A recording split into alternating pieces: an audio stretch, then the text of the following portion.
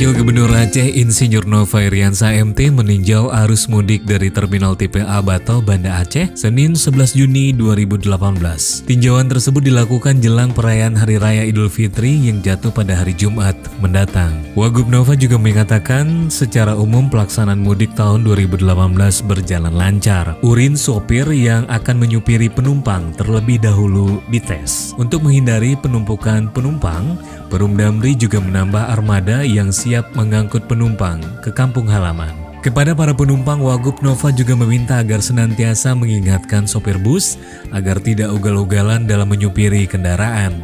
Tujuan dari mudik, kata Nova, adalah silaturahmi. Karena itu ia meminta sopir bus berhati-hati dalam perjalanan. Sementara itu, Kepala Dinas Perhubungan Aceh Junaidi mengatakan dalam pekan ini tren penumpang yang mudik mengalami penurunan. Tertinggi adalah pada H6 Lebaran. Kata Junaidi, hal tersebut terjadi diakibatkan libur panjang yang telah dimulai pada pekan lalu. Mana nih Medan semua?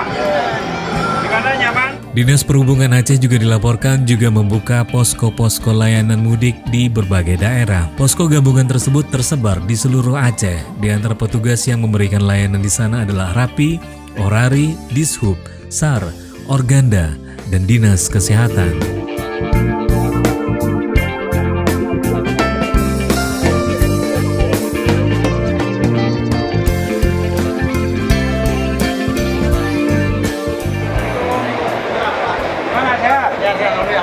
Alhamdulillah. Di mana banyak belanja orang? Selama 20 bulan ini yang rame. Bahan-bahan jualan naik? Enggak, biasa. Enggak, biasa aja. Bang, Tapi aman kan? Alhamdulillah. Kalau ada pungli-pungli? kalau apa enggak ada. enggak. Betul nih. Betul Bang, enggak ada. Betul ya? pungli enggak ada. Oke lah. Nggak pulang kampung? Eh, Sudah malam lebaran lah. Di mana kampung?